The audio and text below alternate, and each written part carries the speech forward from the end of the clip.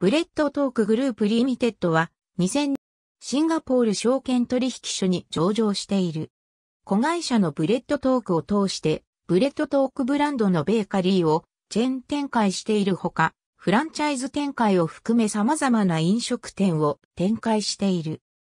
シンガポールに38店舗を営業し、シンガポール以外にマレーシア、インドネシア、タイ王国、フィリピン、ベトナム、スリランカ、香港、中華人民共和国、オマーン、クウェート、サウジアラビア、ヨルダン、バーレーン、インドでフランチャイズを含め展開している。インドネシアでは JCO ドーナツを展開するジョニーアンドリーンが90店舗以上展開している。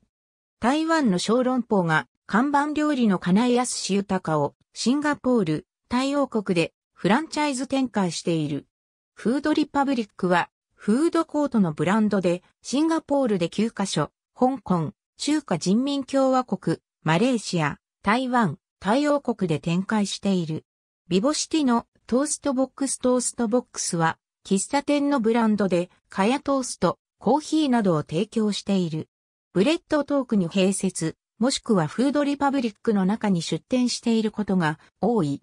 ラーメンプレイは、日本の株式会社ミホと共に展開している、ラーメン店ブランド。シンガポールと上海で展開している。ザーシングルームは、ケーキ、ペーストリーを DIY できる店舗。